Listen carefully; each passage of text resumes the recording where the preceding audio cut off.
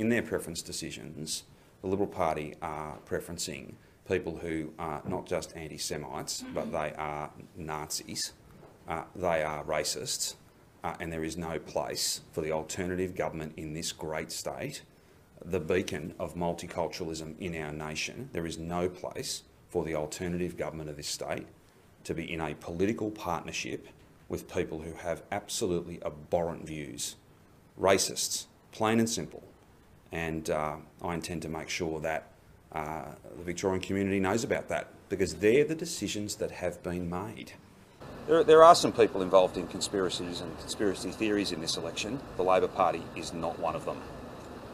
Nor are we preferencing anybody who's involved in conspiracy theories and blatant racism and anti Semitism. And we ought to stop using this neo Nazi tag, Nazis. That's who's getting preferences from the Liberal Party and racists and conspiracy theory, conspiracy theorists is the most polite way you could describe some of the people that the Liberals are preferencing.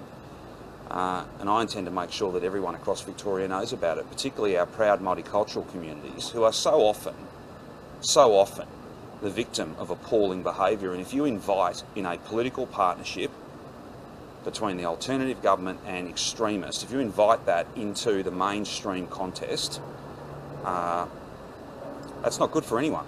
It's not good for anyone. We are the capital of multiculturalism in our nation. We don't tolerate multiculturalism, we celebrate it.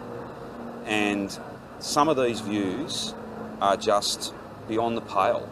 It's racism, plain and simple. And we're not in a political partnership with racists. We never have been, we never will be. Uh, others cannot say that because they are preferencing them.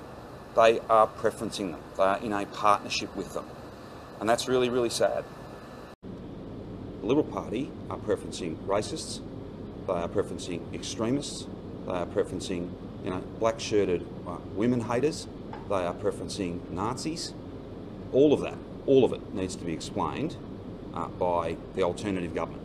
Matthew Guy's Liberal Party are preferencing Nazis, are preferencing extremists. The Holocaust should never be used as a casual term They will keep the Holocaust out of the public debate. The only people who ought to be apologising are these extremists and the Liberal Party who are in a political partnership with them. You know, desperate Daniel Andrews will say desperate things.